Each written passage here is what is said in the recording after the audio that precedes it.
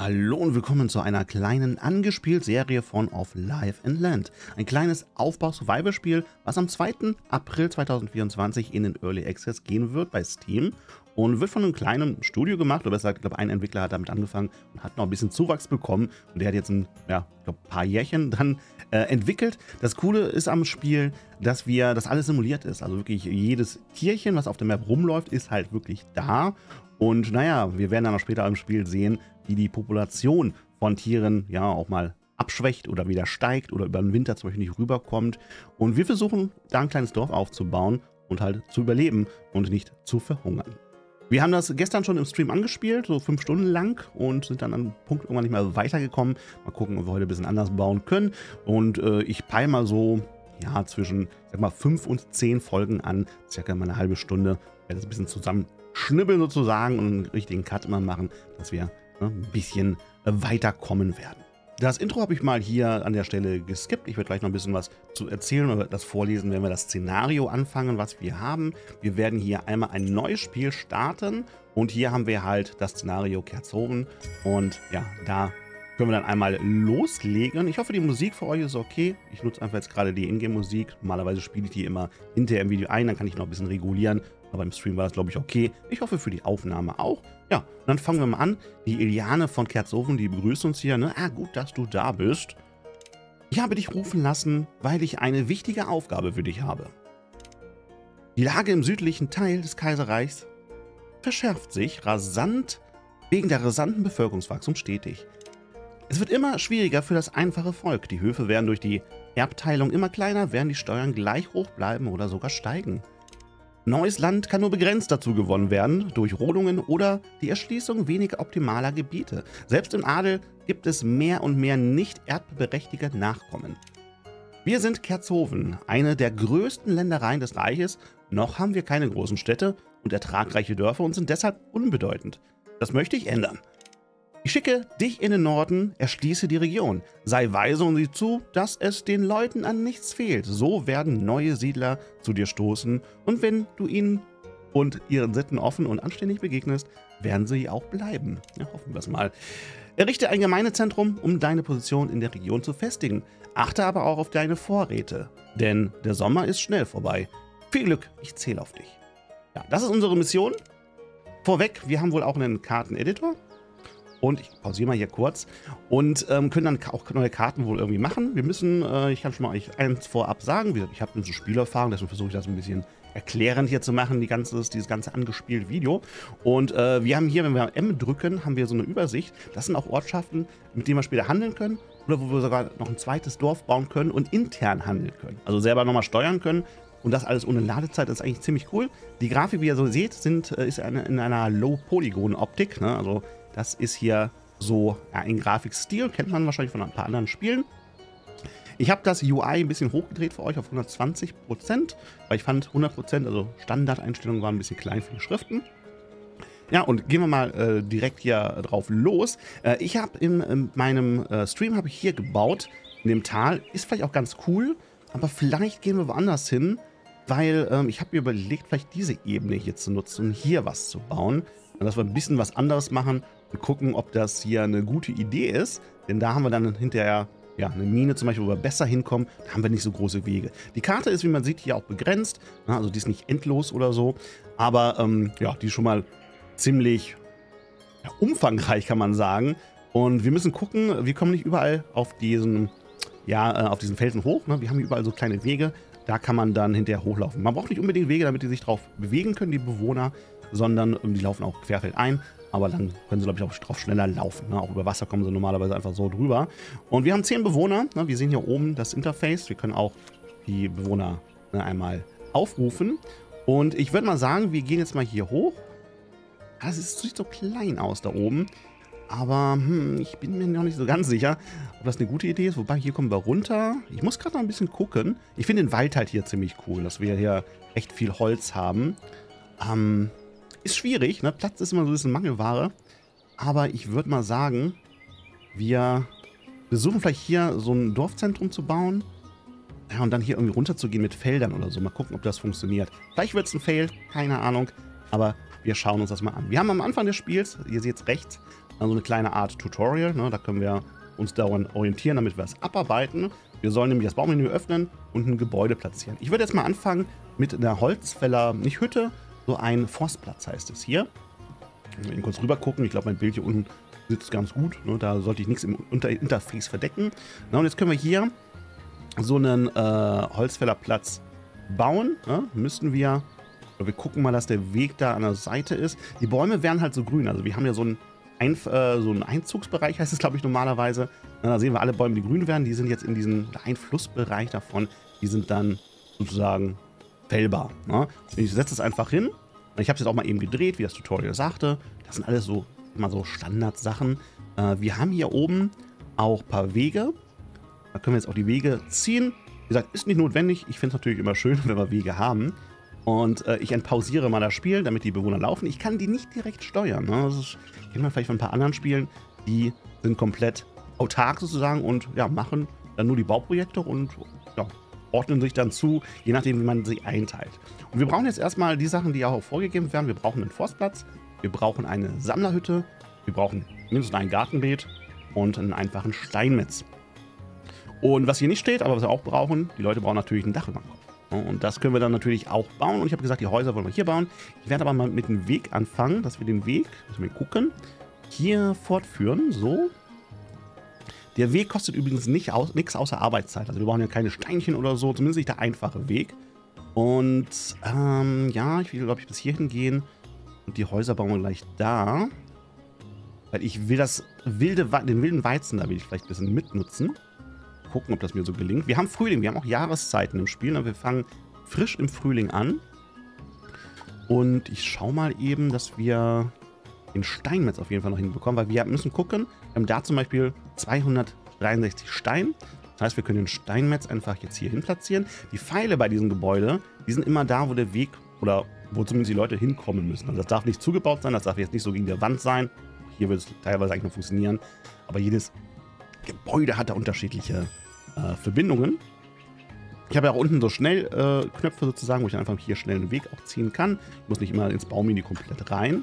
Äh, hier sehen wir schon, hier haben wir, glaube ich, einen toten Rothirsch. Äh, da brauchen wir erst die Jagdhütte. Das ganze Spiel ist so aufgeteilt, wie soll ich sagen, in T-Stufen, also in Tierstufen, wie man so gerne sagt. Römisch 1 bis 5 bisher. Ich glaube, es geht hinterher noch weiter, weil die Bewohner haben noch weitere Bedürfnisse. Und wir müssen Bedürfnisse der Bewohner erfüllen, zeige ich euch gleich. Und dann steigen wir auf in die nächste Stufe. Und dann haben wir neue Bauoptionen, also zum Beispiel die Jagdhütte etc. Ist eigentlich ziemlich cool gemacht. Äh, was die Zeit angeht, ihr seht schon, die Bewohner schleppen hier schon Holz und bauen die Sachen. Wir können hier beliebig oben spulen. Ja, können wir hochspulen auf dreifache Geschwindigkeit oder noch höher. 300-fache Geschwindigkeit läuft auch super. Kann man auch als Maximum hochdrehen, dann verfliegen aber die, die, die Tage. Müssen wir mal gucken, da spielen wir mit, gerne ein bisschen mit rum. Normalerweise lasse ich so auf dreifache Geschwindigkeit dann laufen hinterher. Das am Anfang gehe ich ein bisschen runter, um euch die Sachen zu zeigen. Auch ganz vorweg, wie gesagt, ich will das ja so ein bisschen für euch nicht zum Durchspielen machen, sondern so ein bisschen vielleicht als Starthilfe oder um euch einen Eindruck zu geben von dem Spiel. Wir haben ja wirklich alles simuliert. Ne? Also wenn ich auf so einen Bewohner mal klicke, dann sehen wir hier, das ist die Silvia. Wir können die auch umbenennen und es gibt eine Twitch-Integration, falls ihr auch streamt. Dann werden Leute, die im Chat schreiben, automatisch, wenn Nachkommen kommt, also wenn Baby geboren wird oder wenn neue Siedler kommen, dann werden die automatisch benannt nach diesen Leuten im Chat und die können dann auch Emotes machen oder Twitch-Emotes werden automatisch im Spiel umgewandelt zu ja, so Emotes, die dann über die einzelnen Personen dann aufgehen. Das ist ziemlich cool, eine coole Funktion. Und ansonsten ist aber alles hier krass simuliert. Also wir haben hier Nahrung sozusagen, also eine Art Hunger. Ne? Wir haben Wasser, also Hydration für die äh, Bewohner. Die haben eine gewisse Energie, also schlafen, ob sie ausgeruht sind oder, oder ja, eher nicht. Dann haben wir hier, wie sie so, was für Reserven sie haben, ob sie ein bisschen pummelig sind, weil ne, es ihnen sehr gut geht oder ob sie ein bisschen abgemagert sind. Die normale HP hat, haben sie wohl 80, glaube ich, ein bisschen unterschiedlich, je nach Alter und ob den kalt oder warm ist. Und das Zuhause. Das Zuhause, pausieren wir nochmal kurz, das ist in der Natur. Das heißt, sie haben noch kein Haus. Ne? Und das wollen wir natürlich verändern. Und deswegen brauchen wir auf jeden Fall hier ja, Häuser und wir brauchen aber auch noch eine Sammlerhütte. Die Sammlerhütte, die äh, ist dafür da, wir sehen, wir sehen schon, was sie in grün sammeln, ne, dass wir hier Sachen pflücken können. Unten haben wir hier noch krasse Beete. Äh, das heißt, wir könnten hier theoretisch eine hinstellen. Dann können die... Oh, Moment, guck mal eben. Ah, ich glaube, so bauen wir den Weg leider zu. Das heißt, ich baue die mal so, glaube ich, oder? Ich baue die mal so. Dann können sie hier die Sträucher erstmal leer sammeln. Vielleicht bauen wir gleich noch eine zweite Sammler. guck mal, ja. Ich, baue, ich baue die erstmal dahin. Ich mache auch den Weg noch davor. Ein bisschen optional. Ich könnte noch so ein bisschen übers Gras laufen, glaube ich. Und habe ich das jetzt richtig gemacht? Oder haben wir die gerade draufgestellt? Muss ich mal gucken. Kann sein, dass ich den Weg gerade zubaue. Das ist nicht so gut. Ich reiße die nochmal ab, bevor die was reinbauen. Und ich werde noch einmal die Hütte leicht versetzen, so. Das gefällt mir besser. Und dann werde ich hier, auch wenn der Strauch weggeht, werde ich dann hier nochmal einen Weg, glaube ich, machen. So. Ja, dann haben wir den Strauch abgerissen. Wir müssen ein bisschen aufpassen, wenn wir bauen. Wir reißen direkt Bäume und Sträucher ab, falls wir die brauchen. Ja, wäre es eine feine Sache dass wir die eben nicht wegreißen. So, jetzt haben wir Sammlerhütte bald noch gebaut. Dann brauchen wir noch ein Gartenbeet.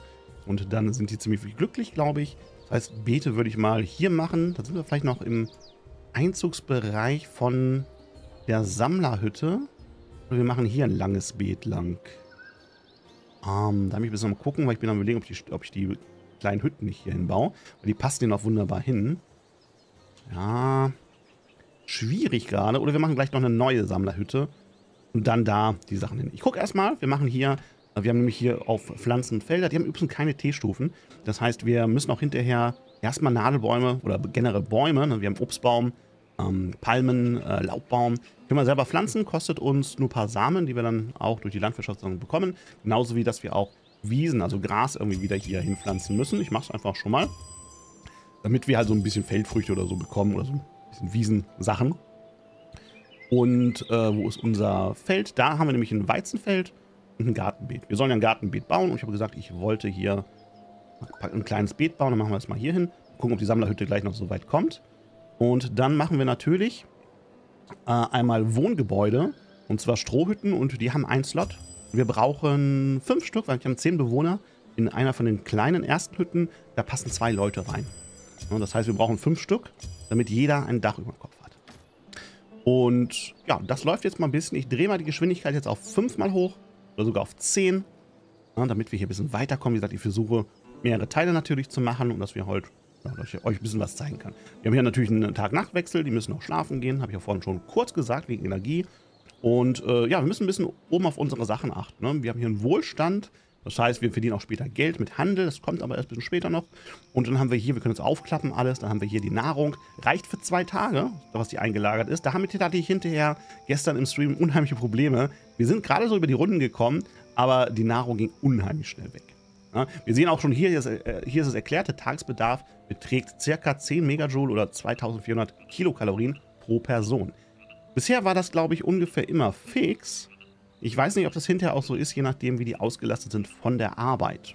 Ist natürlich so die tägliche ähm, Ration, aber ich sag mal so, wenn einer wenig arbeitet, dann bräuchte er eigentlich nicht so viel Kilokalorien an Nahrung. Aber ich glaube, darüber wird gerechnet. Dann haben wir hier äh, Futter. Ne? Das sind eigentlich so Rohprodukte, wie rohes Fleisch etc. Also die Nahrung, die man verspeisen kann. Dann haben wir hier Wasser. Und wir haben hier unsere Rohstoffe, die wir bisher haben. Wir sehen, wir haben Stöcke, wir haben rohes Holz und wir haben Steine. Dann haben wir noch ja, hier Textilien sozusagen, da haben wir gerade noch nichts, das kommt gleich noch hinzu. Und jetzt müssen wir ein bisschen gucken, wenn ich mal hier weiter laufen lassen und hier fleißig am Bauen sind, wie ihr seht. Wir haben nämlich eine Art Prioritätensystem. Und bei unserem Holzfällerlager oder Forstplatz, wie es hier heißt, da äh, ist die Priorität so gemacht, er soll so lange Bäume fällen, bis wir zehn hier intern auf Lager haben von den Bau äh, Baumstämmen. Dann soll er Äste sammeln. Dann soll er Pilze sammeln. Kann man alles abschalten hier und ich kann das halt ähm, ja, verstellen. Also ich könnte jetzt die Priorität von Ästen auf erste Stelle setzen und dann sammelt er erstmal Äste, bis das hier voll ist. Ja? Maximum ist 10, ich kann es nicht weiter hochdrehen, ich könnte es runterdrehen. Und sobald wir 10 oder mehr haben wie hier, dann hört er auf, das zu sammeln. Da haben wir auch gerade eine Aufgabe erfüllt. Und äh, hier ist das Personal, ist fest eingestellt, da müssen wir auch ein bisschen gucken. Die Leute können auch mehrere Jobs annehmen und das wird dann ein bisschen knifflig. Und wir können Verbesserungen machen. Also wir können auch sagen, beim Forstplatz, wir wollen jährlich 8 rohes Holz hier rein tun sozusagen. Das heißt, jetzt wird, glaube ich, erstmal Holz reingesammelt und dann haben wir wirklich für ein Jahr, haben wir das dann erfüllt sozusagen. Das sind dann natürlich so und so viele Tage, ich glaube 26 Tage sind das. Und dann ähm, haben wir hier plus 20 Lagerkapazität. Das gilt auch für andere Sachen, die ich aktiv schalten kann. Nur wie gesagt, wenn man jetzt Äste zum Beispiel benötigt, dann wird die Sammelgeschwindigkeit erhöht. Für ein Jahr. Das können wir bei jedem oder fast jedem Gebäude können wir sowas anwenden um halt Vorteile daraus, Vorteile daraus zu bekommen. Wie gesagt, kostet nur ein bisschen was einmalig und dann immer jedes Jahr, um das aufrechtzuerhalten sozusagen. finde ich, ist es, ist es wert. Ne? Hier, genau, 27,7 sind es sogar. Und jetzt können wir nämlich hier höhere Kapazitäten haben. Ne? Jetzt haben wir hier 30er Lager, nicht 10 Lager. Sehen wir auch schon direkt, hier kommt wieder Holz zusammen. Und ähm, ja, dann geht es gleich erstmal in Ästen weiter. Und wir brauchen, ich drehe mal die Geschwindigkeit wieder auf zweifach runter, damit unser Tag nicht wegrennt. Wir brauchen für die Baustellen, die wir hier noch haben, brauchen wir natürlich ein gewisses ähm, Holz. In dem Fall brauchen wir Gras. Und Gras kriegen wir nicht durch den Forstplatz, sondern durch die Sammelhütte. Und da ist es halt so, dass Getreide auch Gras, also man könnte jetzt sagen Stroh, ne, auch ausgibt und das können wir auch verwenden. Also zum Beispiel um die Dächer zu decken und so weiter. Dafür ist es da. Gras ist hier zum Beispiel auf der untersten Position. Ähm, ich gucke gerade mal, wir müssen den Namen noch ändern, was wir gerade noch Optionen haben. Äh, das heißt, ich könnte hier das Gras, weil das gerade wichtig ist, hochdrehen, dass ich das über die Früchte setze und der versucht, die Priorität hochzusetzen. Wo kriegt man Gras her? Man sieht ja schon, die ganzen Sträucher wurden abgeerntet. Hier sind noch Blätter drin. In den Wiesen, da haben wir zum Beispiel zwei Gras. Hier haben wir auch nochmal ein Gras. Das Problem wird sein, dass wir das Weizen von da hinten brauchen. Ich gucke auch nochmal, äh, wenn ich das hier anklicke, das sind übrigens die Pfade, dann sehen wir schon, unsere Beete, die werden nicht alle bewirtschaftet. Und ich würde jetzt einfach mal sagen, dass wir auch hinter hier Weizenfelder hinmachen. Wir können hier, hier haben wir zum Beispiel Gras, ne? Hier haben wir noch Wiesen, das sind sozusagen ne, wilde Wiesen mit 39 Gras, 40 Gras. Und das heißt, wir könnten eigentlich hier wunderbar noch eine Sammlerhütte hinstellen. Ich gucke gerade mal, wie ich es mit dem Weg mache. Ich glaube, den Weg mache ich mal so. Und dann bauen wir einfach da eine Sammlerhütte noch hin. Okay, das ist ein bisschen... Ja, machen wir mal so. Ja, ist schon ein bisschen schwierig, finde ich. Oder ich baue das so. Ja, wir machen das mal so. Ja, weil Platz ist schwierig. Also die Gebäude hinterher brauchen auch gerne mal vier Blöcke. Und ich weiß noch nicht, wie das hinter mit meiner Stadt, die ich hier bauen will, klappt. Vielleicht hier oben ein bisschen. Ah, könnte ein bisschen schwierig werden. Schauen wir mal. Aber ich wollte mal was anderes versuchen. Ne? Ich wollte nicht wieder... Äh, also eigentlich ist es, glaube ich, gedacht, deswegen haben wir auch schon einen Weg. Und wir haben auch hier noch Brote und Wasser. Da bedienen die sich auch noch dran. Da müssten wir eigentlich noch hin. Ich glaube, ich kann das nicht abholen lassen. Ne? Hier sind noch Früchte drin. Die sind uns aber auch angerechnet. Ne? Also die gehören schon dazu, auch wenn sie hier rumliegen. Es gibt kein direktes Lagergebäude. Aber wie gesagt, das können wir vom Start her auf jeden Fall noch einmal nutzen. Und wir werden hier auch noch runtergehen, keine Sorge. Also ich werde das auch noch nutzen. Aber ähm, ich bin mir gerade noch nicht sicher genau wie. also vielleicht machen wir auch oben die Felder. Und wir gehen jetzt mit dem Hauptdorf doch hier runter. Das könnte ich mir auch noch vorstellen. Dass wir hier, weil hier, wir haben hier, hier sehr viel Weizen. Aber auch da könnten wir, ich mache mal den Weg. Dann ziehe ich mal hier bis hierhin durch. Dann ziehe ich ihn schon mal hier rüber, damit ich so ein bisschen Orientierung habe für mich. Guck mal, ich mache den einfach mal, komm, wir machen den einfach schon mal so. Da haben wir schon mal hier so einen Weg gebaut. Ähm, bei den wilden Weizen können wir nutzen, bevor wir unseren eigenen Weizen machen. Erstmal für das Gras und natürlich auch für die Getreidekörner, die wir dann weiter verarbeiten. Und da äh, sehen wir auch schon ein bisschen was, weil wir sollen vor Schutz und Kälte und Witterung sollen wir hier was basteln. Und zwar Feuerholz und grobe Tücher. Denn wir haben natürlich eine Produktion auch im Spiel. Denn wenn ich jetzt mal hier auf Bauen gehe und hier auf diesen Amboss, dann sehen wir Produktion. Da haben wir in der ersten Stufe einfach einen Backofen ne, für ja, Brote zu backen zum Beispiel. Und dann haben wir hier eine Handdrehmühle. Wir haben aber auch rudimentären Schneidertisch und was wir bauen sollen, den Sägeplatz. Denn hier wird dann Holz, ne, klein gehackt sozusagen, und, oder klein gesägt und zu Brettern gesägt, verarbeitet und zu Brennholz. Das brauchen wir auf jeden Fall. Und das könnten wir theoretisch, wenn wir wollen, auch direkt hier neben den Forstplatz eigentlich bauen. Und dann haben wir einen kurzen Weg auf jeden Fall. Ja, baue ich hier hin. Und für die Tücher, da geht auch Gras wiederum rein. Da werden dann hier Tücher gewebt sozusagen. Das mache ich mal hier hin. Weil hier haben wir ja gerade sehr viel Stroh. Ähm, ich bin gerade am gucken. Ich weiß nicht, wo ich die Felder hinterhin baue. bin ich noch ein bisschen überfragt. Wahrscheinlich eher dann da hinten. Machen wir mal hier hin. So, weil wir brauchen immer noch Stroh. Das war auch in meinem, ähm, in meinem Stream so. Für die Gebäude hier. So, wir haben hier hinten den Stein. Der ist aber auch voll. Da geht nur keiner den abholen. Wir hätten hier unten aber auch Stein, sehe ich gerade. Ne? Das wäre. Ne, hier haben wir nur 10 Stein. 10 Stein. Hier ist gar nicht so viel Stein. Das würde sich hier nicht wirklich lohnen. Da hätten wir nochmal ein bisschen Stein. Das sind nochmal 263 Steine und ganz viele Sträucher. Das Schöne ist, die Sträucher müssten eigentlich auch von der Hütte genommen werden, hoffe ich. Moment. Wenn wir drüber. Ne, werden sie nicht. Ne? Wir nehmen das Ober, den oberen Bereich. Also auch hier können wir noch eine Sammlerhütte hinbauen, um halt die Beeren und so weiter zu sammeln. Jetzt kommt aber ein kleiner Proble kleines Problem. Gehen wir mal ein bisschen drüber. Gehen wir mal die Geschwindigkeit wieder ein bisschen hoch, damit es ein bisschen weitergeht. Ähm, wir haben in der Sammlerhütte natürlich viele Tasks sozusagen zu machen. Und wir haben hier ein Personal von drei Leuten. Äh, wenn wir so Haken setzen, dann wird das automatisch besetzt, das Gebäude von irgendjemandem, der wohl gerade frei ist. Den könnt ihr auch hier rausschmeißen. Das wurde dann ein bisschen schwierig, sage ich mal so. Denn wenn wir mal die Bewohner mit der F-Taste aufrufen, die wir haben, wir haben ja zehn Leute, dann sehen wir schon, ne, die zwei haben noch keinen Job sozusagen, Luca und Stefan. Die sind noch arbeitslos, das heißt, diese Kapazität haben wir noch. Wir können die Leute auch doppelt besetzen. Das ging aber nicht so gut auf. Also ich hatte da ein paar Probleme, dass wir nicht richtig vorankommen.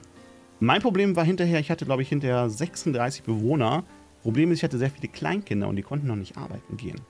Und das Spiel hat das, glaube ich, noch nicht so richtig drin. Also da gab es so ein Problem. Ich weiß nicht, ob ich das überwinden äh, irgendwann kann.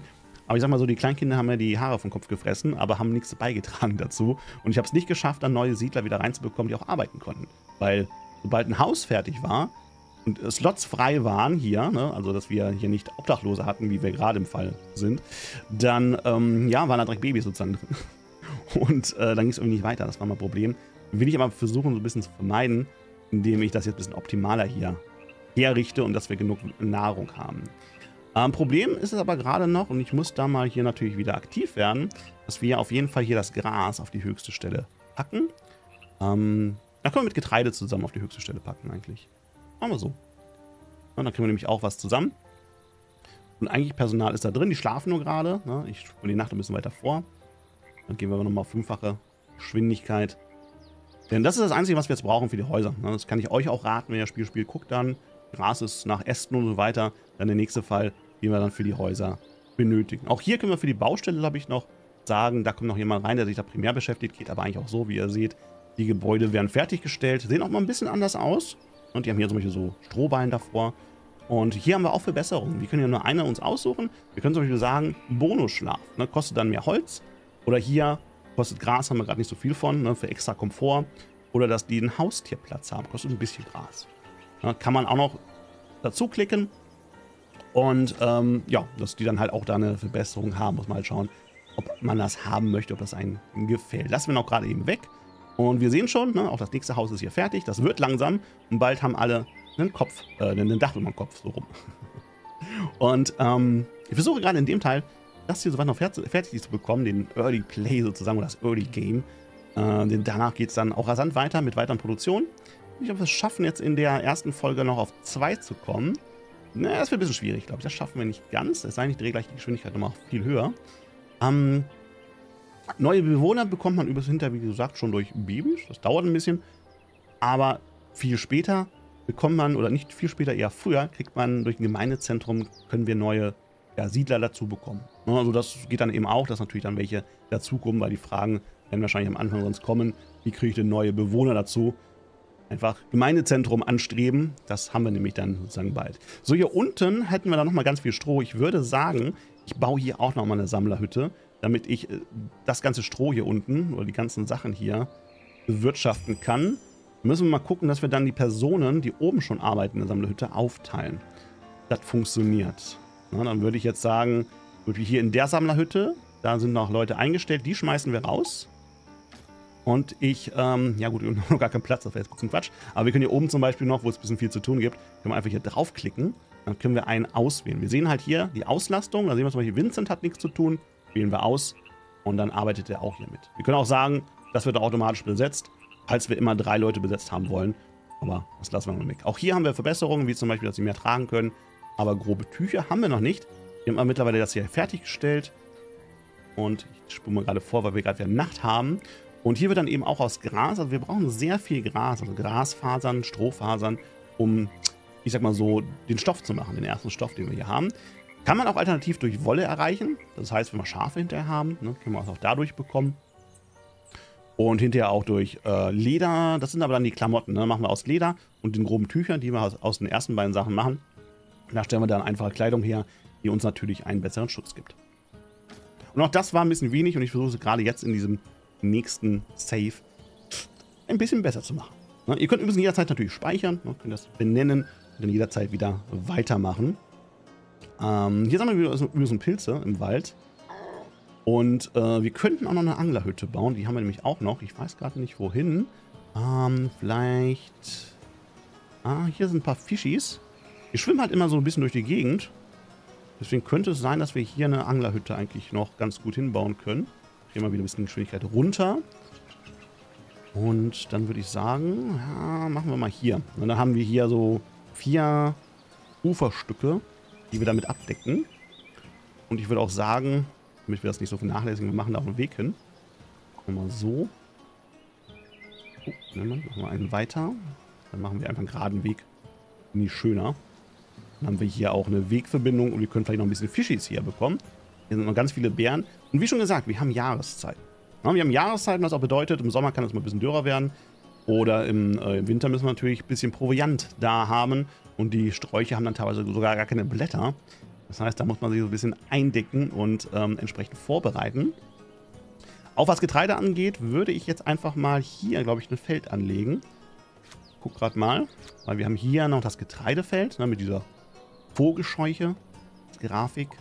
Mache ich mal davor, dann nutzen wir das erstmal. Ich würde, wie gesagt, sagen, wir gehen dann hier hinterher runter für unsere Stadt. Und was wir noch brauchen, ist ähm, eine Feuerstelle. Ne? Mittlerweile steht es auch da. Ne? Wir haben nämlich jetzt, ja, wir müssen noch umbenennen. Ich nenne es mal Tal, Wossi. Wossiken haben wir gestern gehabt. Wossi Village. Village, habe ich es richtig geschrieben? Ach, egal. Abgehakt, ne? Umbenannt. Fertig. So, Handdrehmühle und den Backofen brauchen wir noch und die Feuerstelle. Ähm, die Feuerstelle, ich überlege gerade, die ist halt so ein, so ein Sammelpunkt, wo wir die hinbauen. Wir können die auch hier unten hinbauen. Äh, ich weiß nicht, ob das hinterher gut aufgeht. Das ist ein bisschen schwierig. Ich, ich werde es einfach mal versuchen. Die Feuerstelle.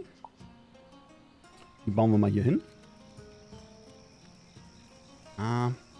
Und die wollen wir unten hin. Aber das ist so weit weg, ne? Wenn ich jetzt hier hinbaue müssen die alle hier hinlatschen. Aber vielleicht geht das. Wir testen es einfach mal. Ich weiß halt nicht. Wir haben halt keinen Einflussbereich zu den Gebäuden. Also ich habe jetzt, also ich habe zumindest nicht gesehen, dass wir die Wohngebäude, dass die eine gewisse Nähe, das kennt man vielleicht von anderen Games, eine Nähe brauchen für sowas. Und deswegen mache ich es mal so. Und ich werde hier unten, oder nee, das mache ich nicht hier unten, das mache ich auch da oben. Da werden wir einfach mal die Produktion für die ähm, Körner sozusagen haben, für die Getreidekörner. Das mache ich mal, mache ich mal hier oben, da ist noch Platz. Mache ich mal so einen kleinen Platz, wo wir das malen können. So, da wird dann halt Mehl gemacht. Und dann brauchen wir eben noch den einfachen Backofen sozusagen. Und da wird dann das Mehl zu Broten gebacken. Das mache ich mal. Machen wir mal hier hin. Ein bisschen, ein bisschen wild gebaut, muss man zugeben. Aber ist einfach mal ein Test, wie die Reichweite halt ist. Weil wir müssten die ganze Karte hinter bewirtschaften irgendwie. Also auch wenn wir zum Beispiel hinten zur Mine müssen, die ist diesmal ein bisschen näher dran für uns. Ne, hier. Dann müssen wir ähm, ja, da noch was hinstellen und die müssen den ganzen Weg dann immer laufen. Das machen sie aber. In der Regel. Dauert natürlich ein bisschen, um sie das, äh, bis sie das erreichen. So, ähm, das versuche ich noch abzuhaken auf jeden Fall. Also ich drehe mal Geschwindigkeit noch ein bisschen höher, auf 20, machen wir mal 50 Prozent, damit die da rüber gehen. Und wir gehen gleich in den Sommer rein. Also ich glaube, noch einen Tag haben wir und dann haben wir Sommer. Ja, das heißt auch ähm, die Ernte und so weiter und auch das Verhalten von Tieren, das verändert sich so ein bisschen. Glückwunsch, Fossil Village hat die Stufe 2 erreicht. Hey, das haben wir sogar noch geschafft jetzt im ersten Teil vom Let's Play. Die Stufe 2 haben wir erreicht. Ich spule noch die Nacht zu Ende und dann gehe ich mal auf einfache Geschwindigkeit. So. Und äh, da haben wir jetzt nämlich neue Optionen. Und das sogar noch bevor wir das Essen bereitgestellt haben. Funktioniert nämlich so das Ganze, wenn wir jetzt mit F nochmal uns die Statistik hier anschauen, damit wir, darauf will ich nochmal einmal eingehen im ersten Teil, dann haben wir hier so eine Art, ähm, ja, Punkte, die man ähm, erfüllen kann. Be also Bedürfnisse heißen sie. Ich äh, klicke mal hier diesen, die Val Valley an. Und das ist auch ein Bewohner, können wir übrigens auch hier verfolgen. Okay, ist ein Typ. Alles klar. Äh, und äh, der hat ja seine Bedürfnisse, habe ich schon gezeigt. Und nicht seine Bedürfnisse, sondern sein Wohlbefinden sozusagen. Und hier sind die Bedürfnisse. Und wir haben 80% dafür erfüllt. Wir müssen das noch decken für ihn. Das sind halt äh, Kleidung, also die einfachen Tücher. Und wenn das auch noch erfüllt ist, dann steigt er auch auf oder ist halt qualifiziert für die nächsten Bedürfnisse. Allerdings haben wir schon mit zwei Bewohnern das erreicht. Die haben halt die Tücher bekommen. Die ersten zwei Tücher, die wir fertiggestellt haben sozusagen. Und die sind so happy, dass sie dann sagen, jo, cool, äh, du bist auf Stufe 2. Und jetzt haben wir natürlich noch weitere Bedürfnisse, die wir decken müssen auf Stufe 2. Und dann würden wir auf 3 kommen. Ja, und so geht das halt immer weiter bis Stufe 5. Bis zu 3 bin ich bisschen gekommen, im, äh, gestern im, im, Stream. Und hier haben wir übrigens noch mal ein paar Effekte. Das mit den genetischen Effekten, das habe ich noch nicht verstanden, was das ist. Ob das mit der Erbreihenfolge irgendwie ist. oder ob jeder andere Möglichkeiten hat. Nur hier haben wir die positiv und negativ die gleichen. Ähm, ah ne, wenn ich es richtig sehe, denke mal, beide werden gezählt, aber die können auch doppelt vorkommen, weil wir haben jetzt zum Beispiel ne, Sprinten plus Renngeschwindigkeit und hier haben wir Laufen und Renngeschwindigkeit auf langsam wiederum. Und dadurch ergeben sich dann, glaube ich, hier die Werte wie 0,4 auf Laufen oder auf Rennen 2,3. Also eben unterschiedliche Geschwindigkeit. Und die werden dann wohl weiter vererbt, wenn ich es richtig verstanden habe. Ich habe aber bei den Babys sozusagen noch nicht gesehen, von wem das Kind ist. Also das, da fehlte mir noch so ein bisschen Information. Aber ich glaube, so ist es halt gedacht, dass wir genetische Effekte von den einzelnen Bewohnern weiter vererben können, die sich halt hier auf Gesundheit etc., Kälteresistenz, alles mögliche hier ähm, auswirken. Die aber positiv und negativ sein können. Also man kann auch mal, glaube ich, das gleiche positiv und negativ haben. Keine Ahnung, ob das sich dann irgendwie ähm, ausklammert sozusagen hinterher. Und ja, wenn wir es halt so machen, auch mit der Arbeitsverteilung, wir sehen auch hier in der ganzen Übersicht, ne, da haben wir überall, jeder hat einen Job, also jeder ist irgendwie beschäftigt. Und da müssen wir ein bisschen aufpassen, weil wir brauchen auf jeden Fall mehr Bewohner, um unser größeres Dorf zu bewirtschaften. Eine Sache noch, die ich auch am Ende zeigen will, auch nochmal hier in der Übersicht. Wir haben einmal hier eine Lagerübersicht, die wir uns äh, anzeigen lassen können.